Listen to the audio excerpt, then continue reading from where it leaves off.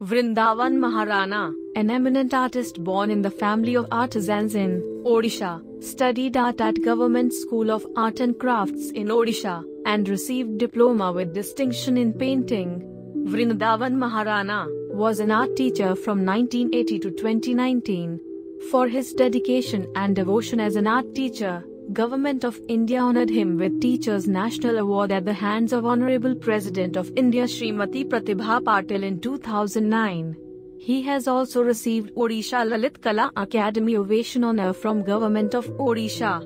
Brundaban participated in numerous exhibitions and workshops conducted by different organizations at state and national level. Lalit Kala Academy, New Delhi, NCERT, New Delhi, Bombay Art Society, Bhangiya Kala Kendra, Dholi Art College, Bhuvaneshwar, and many art galleries.